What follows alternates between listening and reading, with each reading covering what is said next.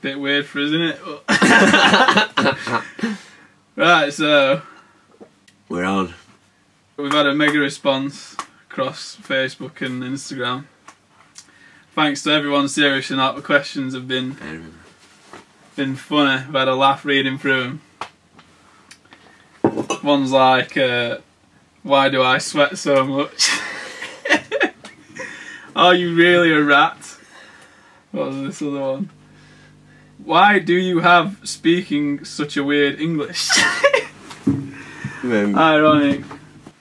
But the first one, made the cut. yeah, which is a big one, but it's why we're here. It's why it's what set the situation going. Why do you love bikes?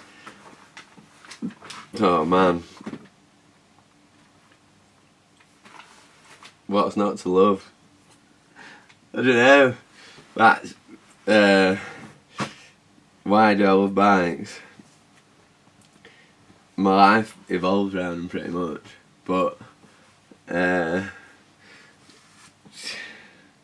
just for smiles it puts on people's faces, just like More than no, bikes. no, no no time do I spend seeing my friends as happy as when we're all just sessioning a jump, new shit is going down, and For sure, bro.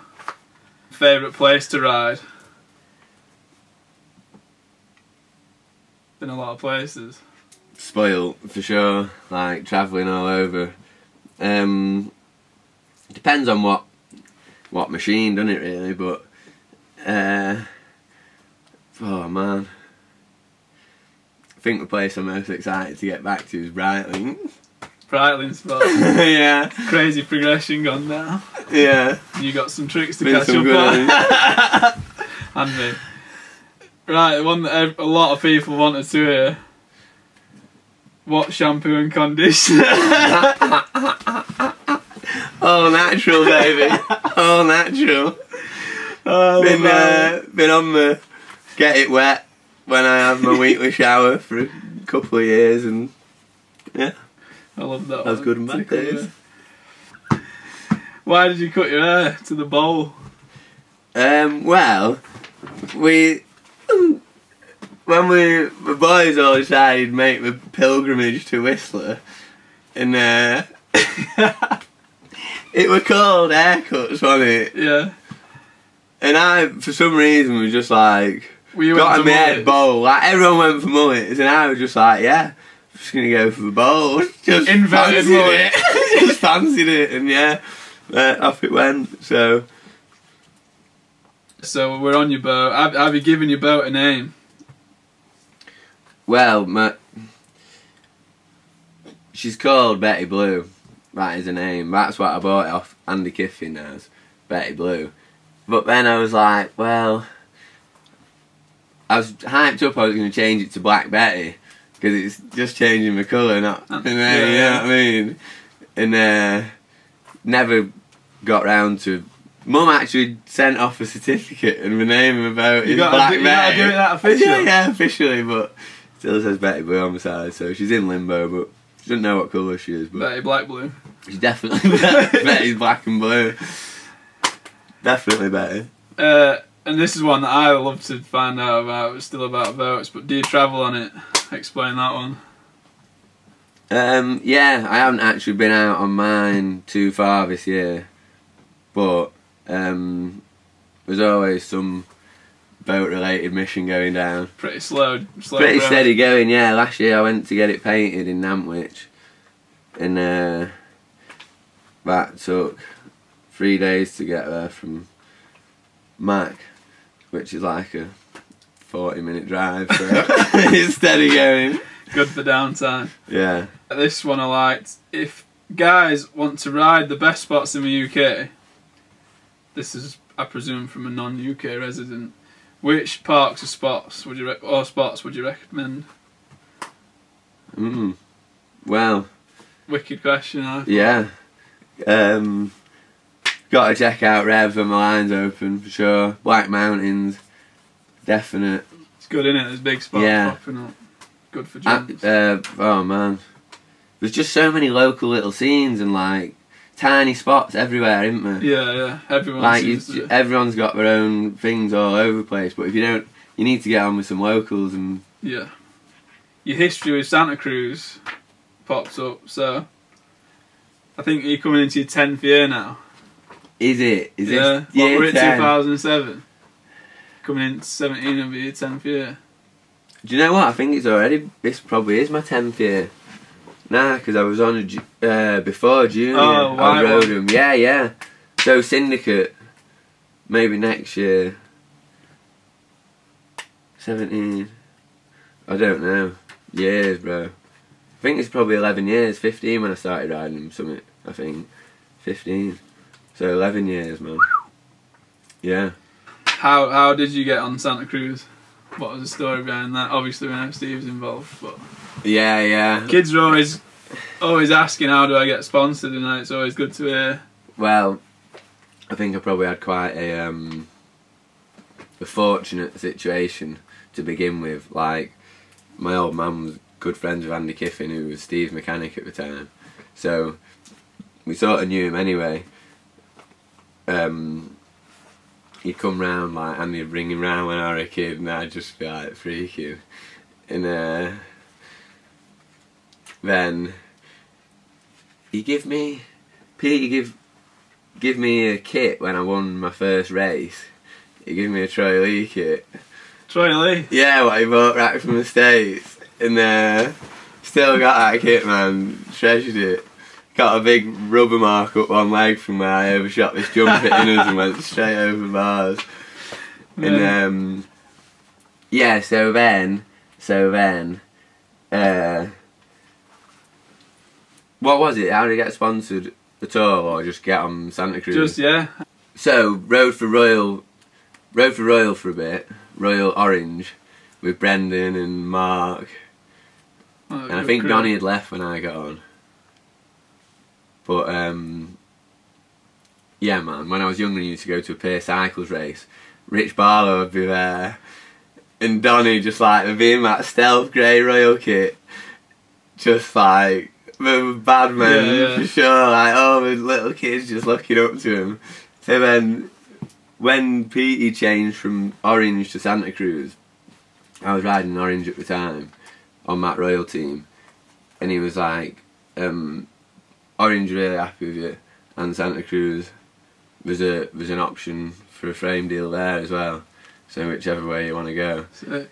and Orange had been wicked, man. But then Steve's like going this way, so I was like, I've got to check it out. still Yeah, yeah, fully. And uh, yeah, I got my first white V10 and silver jackal. I Big- think when I was big Ben- 15, yeah, like that whale mad front Yeah, end on it. Substantial piece of kit, that. Yeah, wicked. Here we are. Here we are. Throughout them years, then the best. What's the one that stands out? That is a good Yeah, question. Paint job or memories on it. Mm. Well, man, I've had such wicked bikes. I think a good one for me was a Blur TR. That was when like Oh, what the? trail bikes got a bit aggressive, Yeah, yeah. and it was carbon, twenty six inch. Such That one with green yeah. stripe down. Green, yeah, man. Oh, like you did, yeah. So that one stands out as like a real fun. When XE bikes got good, Yeah. so, again, I've been spoiled with so many sick bikes. When when I first joined the syndicate, they used to Doug would hand um like mask the frames, and it was the most intricate skulls Oh, and trees yeah, yeah. That was coming in like it went red, white, black, Yeah, and all he did that by hand. oh man, like Yes. Dougie didn't know that. Fresh putting the hours in, and then, um, and then, um, what's his name? I was telling you about him the other day. The fella from Santa Cruz. Uh, where were we? Yeah, them bikes. Hours what went into them, bro. Yeah. Serious. They were sick. And on I don't, early even, I don't days even think. I've got one anymore. It's a bit of a shame, but yeah, yeah, and fresh, yeah, fresh on the team, Fresh getting them custom bikes. So, uh, so still a young Oh, I think I kid. was snuck in at the shop, really. Who was your inspiration growing up with riding? Um, a lot of people, mate, like still today, yeah, like, I guess you take from everyone, don't you? Yeah. But a standout memory for me was uh, going to a bike show. I think it was Bike 2000 in, at the NEC. Might have been Bike 2000, around that sort of time. And uh, it was when it was like the speed trial dual. I think it were a dual speed trial Yeah. course. And Akrigg was like a right at the end was like a car what were like smashed in windows with some sort of grill, grills on them, and uh, he was like leading his race or whatever, hits the car, boosts, and just chucks a little flatty on his trial setup, and just like, Sick. oh man, that stuck with me. And then seeing stuff of him in MBUK jumping the canal when I was like, that wasn't even on my radar. Well, you know, I'd uh, think yeah. about it, but there's no way I'd do it. So I think Akrigg's a big one, mate. It's more and more these days Yeah, well. yeah. Gets Gets Big uh, creative, Yeah. rides what he sees. the originator. Favourite Vanzak? Favourite Vanzak? You had can't, you can't do that. You can't do that. Oh I- man, wildest Vanzak. Wildest Vanzak. Wildest Vanzak. It's got to be Jacko, hasn't it? Hands down. Hands down. Just needed release it. Big up Jacko. Big Set up him a standard. What three downhillers would you take to a bar? Oh man, I don't know. It's a heavy What three down would I take to the bar? Stevie, man. Gotta be Stevie. Stevie Warner. Stevie Kovarik. Oh! It just sounds like after party, you know, eh, or whatever. Stevie Kovarik and um, Fabian Pedimino. Really? Yeah, bro. I've never met him, never. Recreate a Maribor scene which was beyond words. Say no more, brother. Say no more. What would you be doing if it wasn't mountain biking? Well, probably motorbikes. Probably because Some it's sort got to be two wheels, hasn't it, or four, preferably two. So we had there was a wiki question. First part we'll get onto in a bit, but the second part, obviously you've helped me, you've helped loads of people out more than you realise. But have you got any plans for helping youngers coming up? and he hashtagged Keep down downhill wild. Like you know, there's like Sam Cafano. Yeah, yeah. Um, but in the future, definitely, I would like to give back for sure. Um, do, yeah, do more stuff like that. Um, Be I- I- to yeah, get, get get some kids together at bike oh man, definitely, definitely. I think, um, and just supporting the local scene, like, is important. Sam like going going to. Farmer John's, a local thing. That there's a lot of young talent from round here goes there, and um, yeah, sure. People are asking about Austin. drink water, yeah, so I can uh, Are they? yeah, Are they? Wicked. explain a bit about drink water. Yeah. So um, in the winter of 2014, when I decided to not with Monster anymore, um, or it might have been in the following season, 2015. Anyway, Austin, I just got a. Uh, um, Austin slipped into my DM. On His white Instagram. shirt, yeah, shirt. the radical businessman and said, uh, "Respect for your move. Um, can we send you some stuff?" And basically, drink water. Just um, some snowboarders, a wicked group of snowboarders who were on the sort of. You know how would you? How would you describe it? Like, it's not like Just not putting not that. the anti-energy drink, like Yeah, hate, yeah. not the hate going down, but um, just awareness. just like yeah, be aware of it, like yeah. that all that marketing bullshit and I you think can fall takes into. it's a big move the- to take at that, the- innit? Yeah, yeah, at the expense of your health at the end of the day, innit? Like, Yeah, big up, drink water. so yeah, off- and uh, What we got in? buzz off what we're about. Yeah, Feel the, totally the same way, and saving plastic. and um, yeah, them carry them bottles with us everywhere, fill them up before we go. Like plastic, I've cut down on in a couple of years from them.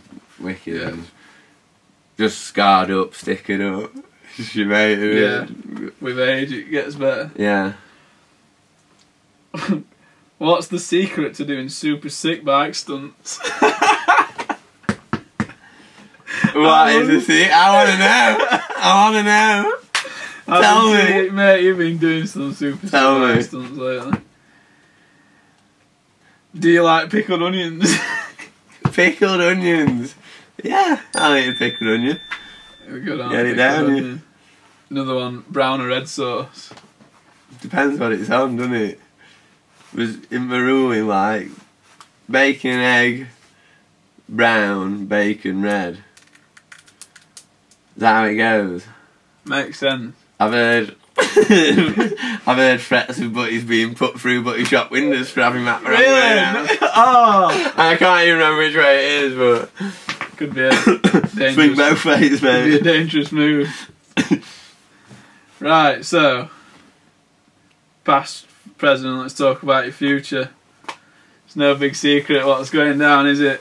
After uh, Claudio's official, Claudio official, official release, amongst other poor jokes. Official bowl release. So yeah, Yeah, so what is your plans? People are worrying, aren't they, that they're going to lose the favourite rider or whatever, but that's not the case. No, no, not at all. Just, just uh, stepping away from a World Cup is all. Like more motiv- motivated than ever to just, just ride and progress and just sort of something. I don't know. I just felt a change this year, and I was like, I'm not that down racing World Cups anymore. I don't know what it was, and I tried my best all year to get into it, and like, it, my style didn't like because I'm a chilled riding style guy. Yeah. Like, it doesn't help people thinking I wasn't putting effort in, but no doubt going at Yeah, it. right. And like finishing in Val di Sole with 15th, I was so buzzing down that track. I was like, yeah. And from an inside point of view, you were nervous, weren't you? yeah, for sure. And um, so yeah, I just decided to move away from a World Cup. But there's loads of events and projects I've got in mind, and uh, yeah, man, excited, just So well excited, and loving riding more than ever. And yeah, A few questions were like enduros, fests, stuff like that. Like what? Yeah, yeah. Well, we'll see. Totally, just sort of, just rolling with it. I, I mean, I do want to do a couple of enduros, uh, a couple of Crankworx. So yeah, So- we'll see what happens. I mean, More, more than like ever, just finished the season, and everyone's like, "What are you doing?" And I was like, "I don't know. I just don't really want to race World Cups." Was all I knew. And then we went straight to that road trip, and then Yeah, just like been here, there, and everywhere. And I'm just like, I don't know. I just want to ride. Like, I just want to ride loads, and uh, yeah, Foot- footage that we're going to stack. for sure. We'll work on that. Exciting times. So, the, knowing what you know now, what would you change about the World Cups? Knowing what eh, I know now. Well, um, I think what's what's been tough for me was like when I came into it, and obviously I've progressed so much as a rider since my first year in 2007. But like I'd get to a World Cup track, man, Vigo. It'd be like three or four sections on the track. I'd be shitting it, just like I've got to try and hold that line together, like Yeah, just nervous for and just like getting in a zone just to and then each year it seems to be like there's been less and less of that happening and it'd be down to like there'd be one or two scary tracks a year or it'd be one or two scary sections yeah, yeah. and it's just like really it, it's like it's a fantastic spectacle whenever i'm at the bottom which has been so ace this year like Watching you can watch a replay but Yeah, you're not there here and when i've been coming down earlier because i've been having punctures in quali and stuff or just like watching the watching the show, Yeah. I have absolutely buzzed off it because I've never like the last year or two I've been at the top, so you don't Yeah, see it as much. And so don't get me wrong, like the racing element Oh mate, is- crew. is- yeah. is you know seriously sick guy. yeah yeah, and everyone is going so hard. Like Yeah. I'm on the track in practice this year, just seeing some mental stuff happen, and none of it film. You know, just like Yeah. Brookie just- Mac first run Mount St Anne, going, going like three times faster than anyone made it Yeah. down that corner alive on the lock stops. Like, oh, you can't help but buzz Yeah, off yeah. that. But then, like racing wise, for me, I definitely favoured the tracks where it was like technical, which I sound well. No, winning, winning my first World Cup at Leogang, giving it the big I love technical one, but um, the more technical the tracks are, and the harder they are, the bigger the time gaps are, which Yeah. Isn't like, isn't great racing for Red Bull. Yeah. You know, because Warner now. Warner's been on his, you know, have calmed him down big time, and if if people aren't doing wild sh- stuff, they're just chatting along through it anyway Yeah, yeah. unless the time gaps are to get Yeah. excited about because it's just someone railing a straight fast just doing like Yeah, yeah.